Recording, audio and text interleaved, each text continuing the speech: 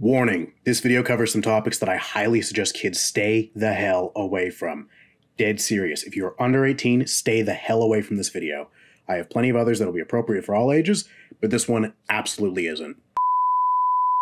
You know, after years of working on this channel, and having dedicated a huge portion of my spare time to discussing Pirates of the Caribbean, I feel like now is the right time to discuss one of the most fascinating parts of the franchise for me. Now, I've covered everything from lore to the symbolism behind the villains to the true history and mythology behind certain characters, but I think this video is a long one in the making, even though it's a bit on the short side. Now, I urge you to go back and watch my earlier villains video from a few years ago, because this could be considered a spiritual successor to that one. Today, I'll be discussing the thematic meaning behind hats in Pirates of the Caribbean. Now, you may be asking yourself, what the meaning behind the hats could possibly be? Like, they're just clothing accessories, right? And in a franchise all about curses, monsters, ships, guns, and swords, you think there wouldn't be much meaning to them. Well, let's start from the beginning. In Curse the Black Pearl, one of the first characters we're introduced to is James Norrington. He confidently speaks about pirates as vile monsters, all while brandishing a distinguished tricorn hat, designating his role as captain. Later, we see Captain Jack Sparrow sail his way into Port Royal, wearing his own rugged looking tricorn, much less focused on his appearance, but more so on the mere status of being captain. He only took his hat off once he saw Elizabeth was in danger, a point in which he was able to set aside his status and do the right thing. Jack got arrested immediately after, but managed to escape, hat and all, specifically requesting Elizabeth to put it on at gunpoint. He took it off in private in the smithy while he tried to get his handcuffs off, and unprepared to be seen without his hat, Jack acted in aggression and dueled Will. He specifically pointed out to Will that he needed to find himself a girl, but also brought up the potential reason for why Will might not have a girlfriend, because he's not confident in himself to make the first move, Jack also brings up an extremely important line. You're not a eunuch, are you? Once Elizabeth was captured, she was brought before Barbossa, a man with a gigantic hat that completely dominates the frame. It looks rugged, but well decorated, much like how Barbossa looks like a crazy pirate captain, but is also exceptionally smart, and is overall established to enjoy the finer things in life. Later, Will frees Jack, and Jack proclaims that he can't leave without his effects, which, of course, includes his hat. He cannot go on a huge adventure without his status symbol, and we see him without his hat later on when he's captured by the crew of the Black Pearl. Until this point, he was confident, leading the charge, pushing everything forward his way. But as soon as he got separated from his hat, everything fell apart. He was at the mercy of men with bigger hats.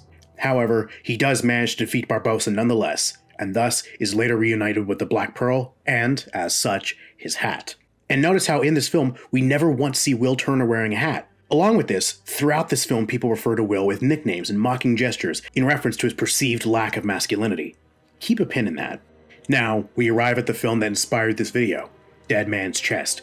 One of Jack's first on screen actions is putting on his hat, and later on, Jack the Monkey tosses his hat overboard while he's frantically getting his crew to sail to land since he knows Davy Jones is after him. Later on, we're reintroduced to Norrington, a man who's lost all honor and, most importantly, his hat but most obviously of all, we're introduced to the scourge of the seas, Davy Jones. Jones is shown at all times with his massive hat, making his overall frame look far more imposing and making him look gigantic. It also has the added detail creating the silhouette of devil horns. He's literally a sea devil, a grim reaper on the waves, and a large part of his fear factor comes from his gigantic hat. And we don't see Jack reunited with his hat until he finally does something honorable, returning to save his crew from the Kraken. As for the captain that joins the surviving crew of the Pearl, Barbossa, returned from the dead, massive hat and all. This film also introduced us to Cutler Beckett, a comically short man with a large hat that almost comes off as compensation for his unfortunate stature. And notice again, we never once see Will Turner wearing a hat, along with once again being mocked for his perceived lack of masculinity. L'homme say say unique,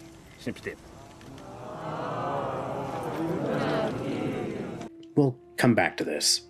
By the time of At World's End, we see that the world has been conquered by the East India Company. Cutler Beckett, wearing his massive hat, has executed countless pirates, as with Davy Jones hunting them down on the waves. Norrington, after doing something he perceived as honorable by bringing Jones into the command of Beckett, has also reunited with his hat, the symbol of his honor and authority. Once we're reintroduced to Jack, we see him brandishing his hat while hallucinating that he's still commanding the Pearl with a large crew. Later on, we see Jack and Barbossa reuniting since their fateful battle on Isla de Muerta. And through the rest of the film, we see Jack feel insecure against Barbossa, refusing to see him as an equal or even superior captain. Barbossa, with his big hat energy, scoffs at Jack's attempts at establishing dominance against him. Even Elizabeth gets in on the hat action, taking her place as the Pirate King and leading her brethren to war. When Jack managed to get the upper hand on Davy Jones and stabbed his heart, Jones fell off the edge of the Dutchman, losing his hat on the way, as with Beckett losing his hat after death. And notice how, again, Will doesn't wear a hat during the entire film, and he's still seen as a weak man by all the other men in the franchise. But in the end, Will manages to marry the love of his life and conceive a child with her. Are you seeing what I'm seeing? Hats are representative of manhood, specifically, the size of your magnum dong.